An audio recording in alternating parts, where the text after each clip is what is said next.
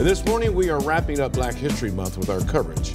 Uh, We know that St. Louis has the, or as the gateway to the West, thanks to Lewis and Clark. But there's another explorer who played a very important role in this journey. Yeah, our Sydney Stallworth is joining us from the Lewis and Clark Historic Site in Hartford, Illinois. And Sydney, there's another person out there that a lot of us may not know about.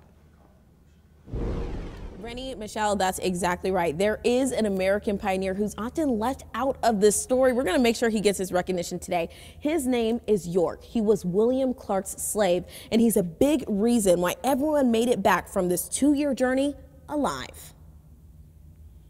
His blackness and his skill set was crucial to the, the survival of this expedition trip. Lewis and Clark, known as the explorers of the American West, but someone else who's every bit of an American pioneer is often overlooked. You have a man who's part of this military group that's not getting paid, that's not charged with a task, but he has to do the same thing. And he proves so useful on the expedition trip.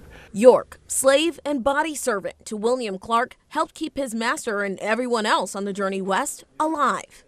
An expert hunter, master of military skills, and the main reason why Lewis and Clark were able to trade with the indigenous people living out in the Western Territory. He goes on this 70 mile trek to find one of the Shoshone tribes. His skin color becomes the connection to building trust, and his contributions don't go unnoticed. We kind of start to see the men accept him. He had untold freedoms going on this expedition trip. He voted for the first time. The expedition ends.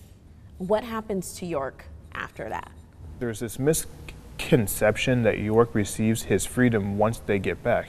He does not. Everyone else on an expedition trip gets wealth, land, praise. But for York, it's back to the dark reality of American slavery as Clark forces him to stay in St. Louis. One year, York overstays a trip to Kentucky to visit his wife. As punishment, Clark sends him to a harsh slave master in the South.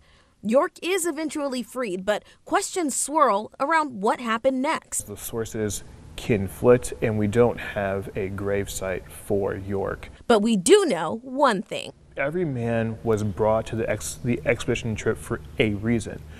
York was brought because he had to, but then he proved his usefulness throughout this two year journey. He changed America. He did, definitely. Sydney Stallworth, five on your side. Now, we do have limited information on York in the later years of his life, but historians do have a couple of theories on where he spent his last days once he was eventually freed from uh, slavery. Now, in our next 15 minutes, we're going to hear those theories from our historian. But for now, reporting in Hartford, Illinois, I'm Sydney Stallworth, five on your side.